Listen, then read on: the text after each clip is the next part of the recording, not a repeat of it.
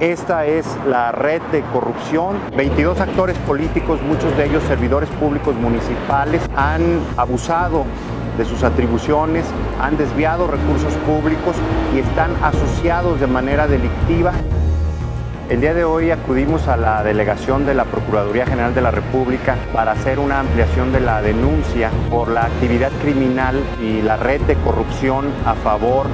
de Ricardo Villanueva. Es muy grave lo que se difundió ya a través de las más de seis horas de audio, donde queda con mucha claridad la manera en la que opera el papá del gobernador. El magistrado el presidente municipal y todos ellos deben ser destituidos inmediatamente y la mayor parte de ellos deben estar en la cárcel.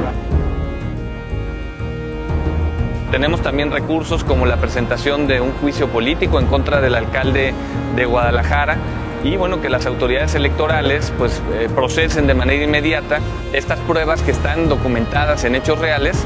y, sancionen a los candidatos del PRI, porque, insisto, estamos frente a una elección de Estado donde los recursos públicos, tanto municipales, estatales como federales, pues están aportando a las campañas del PRI y eso es algo que se debe sancionar. Movimiento Ciudadano